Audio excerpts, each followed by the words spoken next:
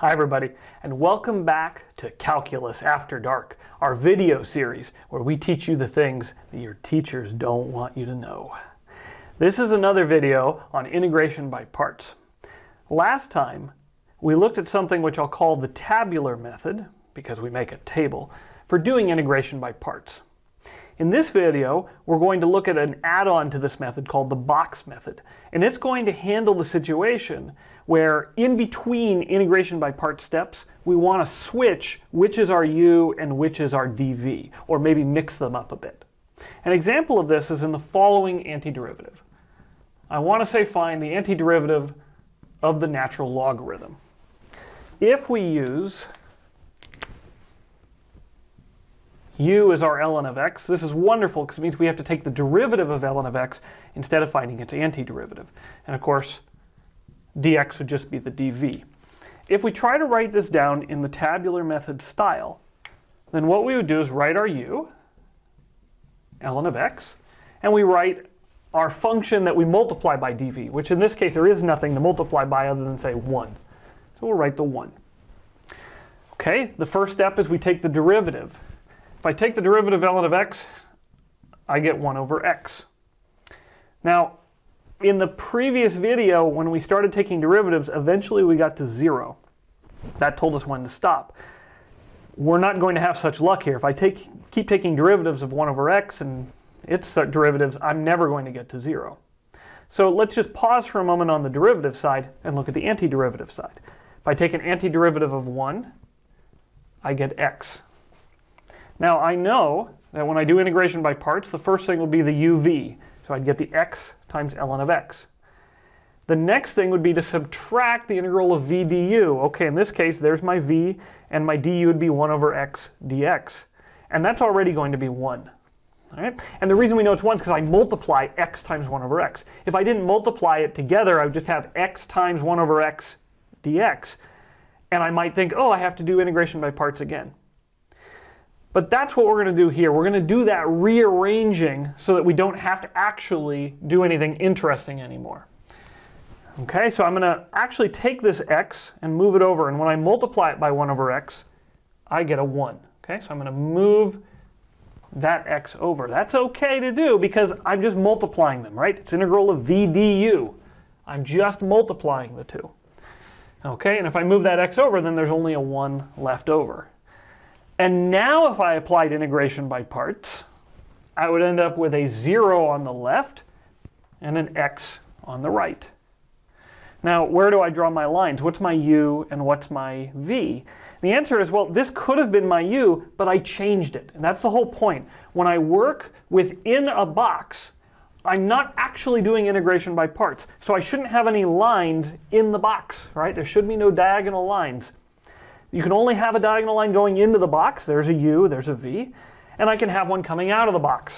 So there's my new u, and there's my new v. The first time, of course, it's just u times v. The second time through, you have to get a minus sign because you're subtracting. And so, in the end, antiderivative of ln of x will be x times ln of x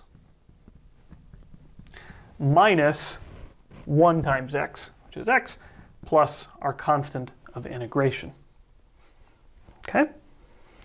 All right, let me do one more example because this is a little bit tricky. And we're going to put it together with my favorite integration by part trick, the I trick. All right, our next problem is to try doing an antiderivative for sine squared. This is very similar to the cosine squared derivation. We're going to use integration by parts, but just like in that cosine squared derivation, I don't actually want to do it twice. I want to use that Pythagorean identity that sine squared plus cosine squared is equal to 1 in order to simplify my calculations. So we break it up by making my u sine of x and my dv sine of x dx. Of course, I only write the sine of x and the sine of x. On the left, I take a derivative. That gives me a cosine. On the right, I take an antiderivative. Be careful, there's a negative in front of the cosine. Now, at this point, I could use integration by parts again. I'd get a negative sign, and I'd get a negative sign over here.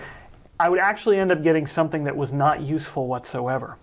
But let me go into a box. If I go into a box, now I'm allowed to move these around, right? As long as I'm multiplying them together, I can put them, factor it in any way I like. And the way I'm going to factor this is by putting this negative on the left and getting rid of this cosine, moving it to the right, so that I get cosine squared. All right, but I'm going to continue this box a little bit because I want to rewrite this cosine squared as 1 minus sine squared. Notice, in the box, we are not doing integration by parts. I'm not taking derivatives. I'm not anti-differentiating inside the box. I'm only rearranging terms or maybe rewriting them. Okay, now once I get to this step, I will do another integration by part step. So I'm going to take a derivative of negative 1, which is 0, and I take an antiderivative of 1 minus sine squared. Well, antiderivative of 1 is x, but oh, this was the problem. I don't know an antiderivative for sine squared.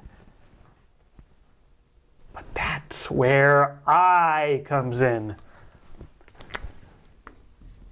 If I call my original antiderivative i, then I know that I'm getting down here the same i. Now I draw my lines in. So sine times negative, uh, times negative cosine, which gets a positive sign in front of it. There are no diagonal lines in the box because that was not integration by parts. That was just me rearranging terms. But I do get one out of the box, and I get a minus sign on it. Okay, so what do we get all together? So our i equals negative sine times cosine.